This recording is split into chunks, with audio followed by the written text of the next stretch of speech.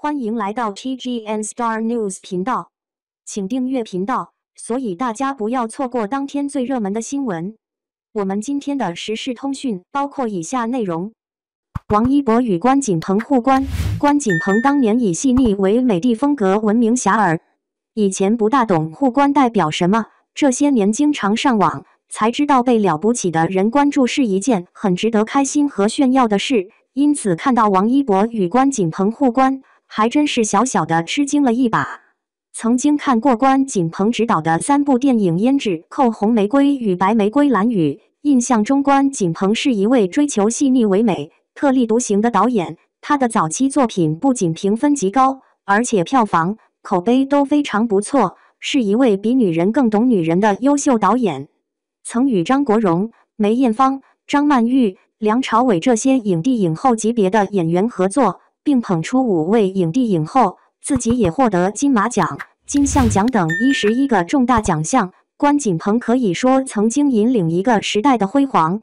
关锦鹏对演员的要求很高，他曾在综艺节目中要求他合作的青年演员要懂得与角色共情，进入到角色的命运中，与他同喜共悲。但又不能没有自己独立的思考，自己要始终处于主导地位。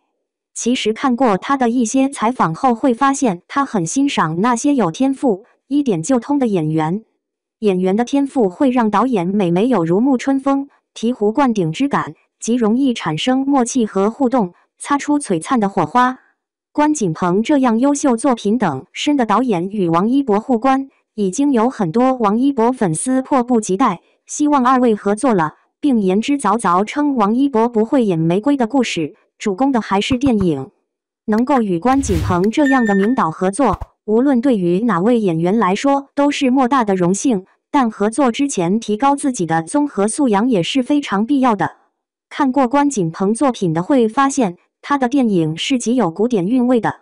比如《胭脂扣》中梅艳芳吟唱《刻图秋恨》，瞬间就将人带回到古意悠悠。哀感玩艳的氛围中，梅艳芳身穿颜色晦暗、样式老旧的旗袍，走在高楼林立的 HK，他眼中的悲凉和无措，又让人无比感叹世事变化莫测。所有以为会属于自己的东西，都会在瞬间消失不见。一位影评家这样评价关锦鹏的电影：受张爱玲的影响，关锦鹏有着深厚的旧上海情结。习惯于把张爱玲式的苍凉绝望，却又暧昧艳丽的感性世界展现出来，能够得到关锦鹏的赏识，无疑王一博是优秀的。但如果有合作意向的话，就首先的提升自己的文化素养。